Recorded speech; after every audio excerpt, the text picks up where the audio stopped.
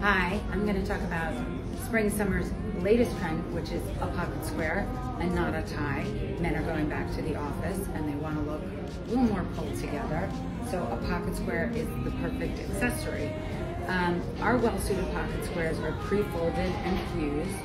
Uh, traditional pocket squares are literally just a square of fabric.